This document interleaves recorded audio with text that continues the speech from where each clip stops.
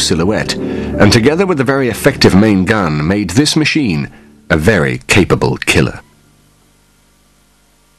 These new tank designs joined the existing German machines including the Panzer IV, Panther and Tiger. On the whole, the German tanks were probably superior to the Allies who still relied on the Sherman.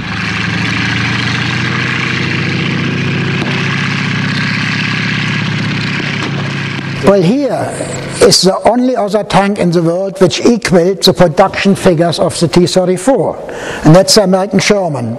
Again, about 45,000 were built at different marks, just like the Russian, and it was all around a very good tank, but its success is mainly because of the quantity it was produced in. The American enemies just couldn't match that sort of thing. These early uh, Shermans they're fitted with a 75 millimeter gun, but not very long as you can see, which means it hasn't got a high starting velocity of the shell. But it was changed later, and especially the latest uh, uh, Shermans in the end had the famous British 17 pounder, which was as good as the German 88. In places, probably even better, with a tungsten shell in it. On top, of course, you got a heavy machine gun as well. And otherwise, as are most tanks, the bow machine gun here next to the driver, the coaxial one next to the gun, you see sticking out there, and then a very heavy one on the top. And later, on as well, you had anti-aircraft machine guns for defense against low-flying aeroplanes.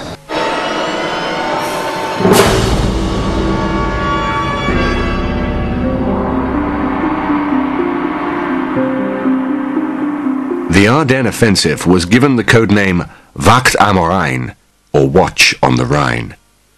Hitler had envisaged a repeat of his great victory in the summer of 1940, which knocked France out of the war. But the situation in December 1944 was very different to May 1940.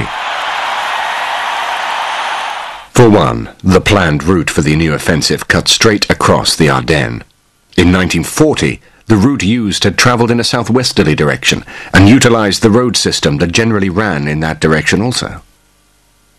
The strike of the roads, the run of the roads, follows, of course, the valley bottoms, and the valley bottoms run southwesterly. However, the Germans wanted to strike to get to Antwerp northwesterly. So they were striking across the grain of the countryside, across the grain of the road system. That would mean difficulties when they were trying to plan a fast mobile offensive using tanks. The Ardennes is a very thickly forested area the roads, in the, certainly in 1944 and even today, are very narrow roads, very steep roads. Um, there's lots of areas in which they can be ambushed. For example, on a very narrow road, one anti-tank gun knocks out the first tank, nothing can get past it. And this is one of the problems that the Germans faced. Another restrictive feature of the planning was the lack of sufficient fuel. By late 1944, the Germans were desperately short of fuel. Um, all of their fuel came from the Romanian oil fields, which by that time were either in the hands of the Russians or were being overrun by the Russians. The only fuel that they could produce was synthetic fuel, which was produced from coal. And so part of the overall planning for the Ardennes offensive was that the German forces, the, the Panzer forces in the advance, would capture and use American fuel stocks. As we know, the uh, Americans actually destroyed those fuel stocks. The fuel factor, on its own, was to play a significant part in the eventual failure of the operation.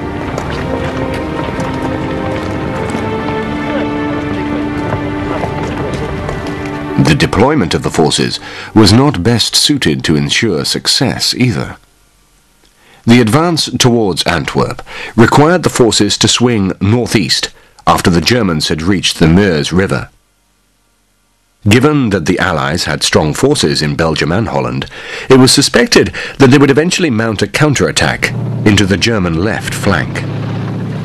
However, the strongest armoured German forces were situated on the right flank and too far removed to meet any potential threat. The Germans did have some elements in their favour in the Ardennes, the Americans had uh, weak forces. that were there for re rest and recuperation, or there were units that had been badly mauled in the fighting and they were there to, it was a quiet part of the line, and that was another reason why the Germans attacked. The other point is, of course, its unpleasant fighting conditions. This is December 1944. It's cold, rain, sleet, very difficult conditions for fighting in. The Germans, of course, were rather more accustomed to this given their experience on the Eastern Front, and so Hitler may well have thought that that was a gain for them. He was also, of course, hoping that the weather would keep the Allied air forces at bay. The much feared Jabos, or rocket firing planes, struck fear into the heart of every German soldier. The poor weather situation prevalent in the middle of December 1944 would keep the Allied planes on the ground for the vital opening phases of the attack. This would hopefully allow the advance to make a good start and reach some of the objectives.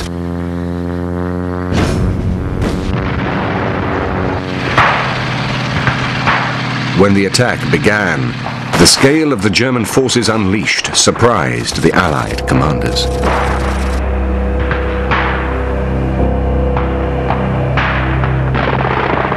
Some of them had suspected a German attack around this time, but not to this extent. Some of the forces that were part of the German attack had been severely mauled during the Normandy battles. The planned area of attack was also being held by Allied troops who themselves had only recently been involved in heavy fighting around the Hurtgen forest. Hitler was confident of success and did not allow any alterations to his plans. By the 16th of December, everything was in place. The quiet Ardennes sector was about to erupt with the sound of battle.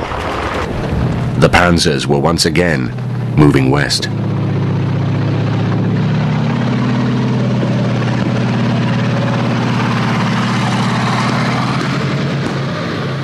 The Germans had assembled an impressive lineup of tank forces for the offensive. The powerful 6th Panzer Army were positioned in the north under Obergruppenführer Sepp Dietrich.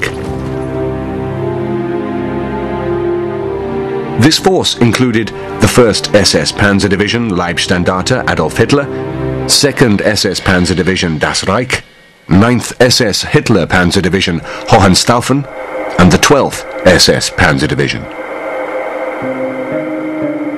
Their task was to advance along the route from their forming up area near Dahlem in Germany and into Belgium around the town of Losheim. Their objective was to cross the Meuse River just below Liege and advance onto Antwerp. Just to the south of this force was the 5th Panzer Army under the command of Lieutenant General Hasso von Manteuffel He had the 2nd Panzer, 9th Panzer, 116th Panzer and the Panzer Lehr divisions, together with the 15th Panzer Grenadier Division. Their objective was to move from Prüm in Germany and on to Antwerp via Brussels.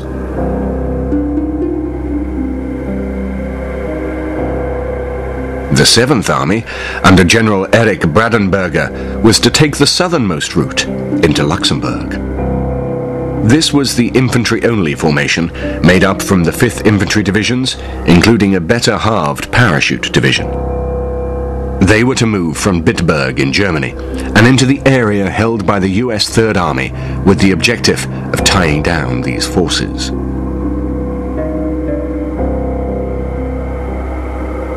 All these forces were part of Army Group B, commanded by Field Marshal Model. They had very limited reserves in the shape of the 3rd Panzer Grenadier Division and the Führer Begleit Brigade and the Führer Grenadier Brigade. This total force had 2,000 artillery pieces, over 1,000 tanks and assault guns, and 250,000 men.